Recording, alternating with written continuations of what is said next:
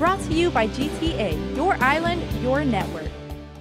The Tamuning Hotel is one of the few major resorts located away from the main Tumon tourism hub. The Sheraton Laguna Guam Resort was once the Palace Hotel that opened in 1991. It was purchased by Kencorp, the owner of four other local hotels, and officially reopened as the Sheraton on April 20, 2007.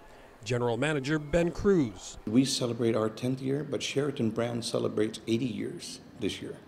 Uh, so it is one of the most recognized names. Cruz says business remains steady, but like the Guam market as a whole, the customer mix is changing. I'm sure you've seen in the last few years um, with Korea, uh, with now more flights that are available, um, LCC, uh, low cost carrier flights that are available now.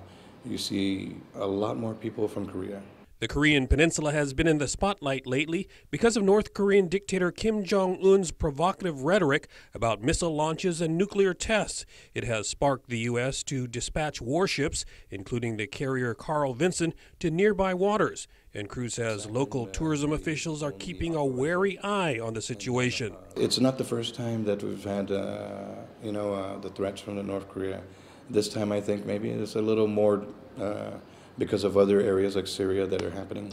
Um, so it's, I think there everybody's a little bit more cautious. Cruz says as of now, his hotel has not seen a slowdown or cancellation of any Korean reservations. For Guam's News Network, I'm Nestor Licanto.